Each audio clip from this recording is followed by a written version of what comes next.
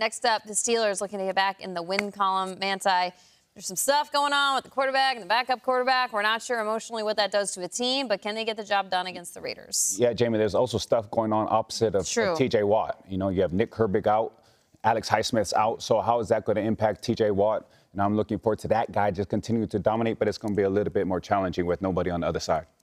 You know, this is going to be pretty cool, uh, you know, for the Raiders to really kind of, you know, rejuvenate what's going on over there. Like they had a lot of hope coming in with the, you know, obviously with AP as the head coach. You know, they're out without Christian Wilkins right now, but Aidan O'Connell's taking over.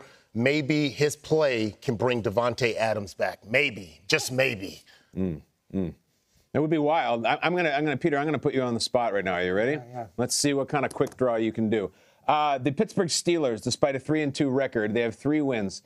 They have one player who has rushed for a touchdown this year in five games. You know who that player is? Is it Freiermuth on like a handoff? Who is it? It's Justin Fields. Yeah. He's the only Steeler to rush for a touchdown, which seems flawed, and it seems some warts in their offense right now. We have to get things going. You have no time for you. I'm yeah, sorry. real quick. Pickens talking at his locker. I didn't like any of the way that that went down. It seems like there's already issues in Pittsburgh. Are they going to be a team that's a buyer? Are they looking at Davante Adams? Are they looking at someone else?